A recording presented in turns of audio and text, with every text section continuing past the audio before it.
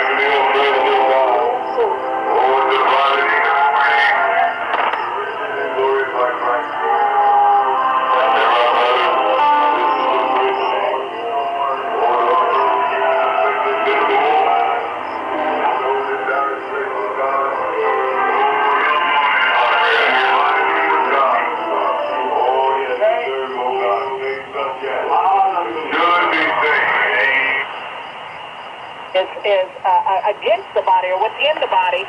And I always took that scripture to refer to the physical body. And I think in your reference to that scripture, you were meaning spiritual body.